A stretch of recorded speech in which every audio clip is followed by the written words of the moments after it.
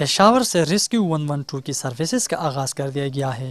दहशत गर्दी से नबर आजमा सूबे को तीन सालों से ऐसी ही सर्विसेज़ की अशद ज़रूरत थी, जिसका ख्वाब देखा मौजूदा हुकूमत ने और मदद की इसको अमली शक्ल देने में पंजाब हुकूमत ने। और आज rescue one one two two अमली शक्ल में आवाम के सामने है। मौके पर अपने बड़े भाई वज़ीर अला पंजाब, मोहतरम मियाँ शहबाज शरीफ साहब का, पंजाब हुकूमत का और doctor Rizwan DG rescue one one two two Punjab का शुक्रिया अदा करना चाहूँगा कि उन्होंने हमें सपोर्ट किया है इसमें। अभी तक जितने भी हमारे मराहल गुजरे हैं।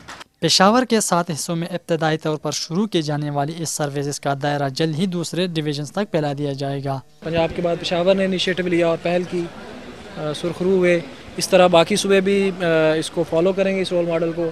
और आम इंसान को जो उसका बेसिक राइट है एमरजेंसी की सूरत में फ़र्स्ट एड मिलने का और हॉस्पिटल तक सेफ़ ट्रांसपोर्टेशन का, वो सबको मिलेगा। जिस तरह पंजाब में मिल रहा है, इंशाल्लाह वो पिशावर में और खैबर पख्तूनख्वा के बाकी सूबों में मिलेगा। अगरचे खैबर पख्तूनख्वा हुकूमत अपनी सतह पर दहशत गर्दी से मुकाबला करती नज़र आ रही है, लेकिन असल मामला वसाइल के हैं, जो अक्सर मरकज नजरअंदाज कर देता है। ज़रूरी अमर यह है कि फ्रंट लाइन सूबे के मामला को पहली तरजीह देना ही इस मुल्क की बका के लिए ज़रूरी है, और यही बाज लोग समझने से कासर हैं।